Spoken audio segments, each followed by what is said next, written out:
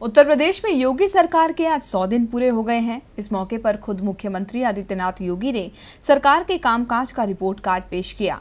उन्होंने 100 दिन विश्वास के नाम की बुकलेट जारी की, जिसमें सरकार की उपलब्धियों और भविष्य में उठाए जाने वाले कदमों के बारे में बताया गया।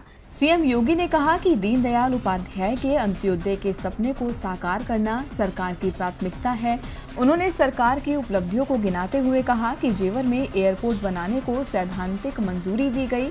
इस साल के अंत तक तीस जिलों को खुले में शौच से मुक्त किया जाएगा। स्कूली बच्चों को कई सुविधाएँ मुहैया कराई जा रही हैं। इसके साथ ही सीएम योगी ने कहा कि उनकी सरकार बिना किसी भेदभाव के सभी वर्गों की भलाई के लिए काम कर रही है। उन्होंने पिछली सपा सरकार पर इशारों इशारों में निशाना साधते हुए कहा कि राज्य वंशवादी राजनीति की चपेट में था, अब उसको इससे निजात मिली है।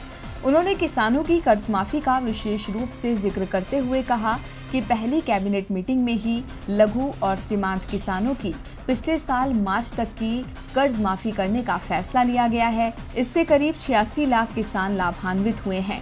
योगी ने कहा कि किसानों की सुरक्षा के लिए पाँच गुना अधिक गेहूँ खरीदने का फैसला लिया गया है।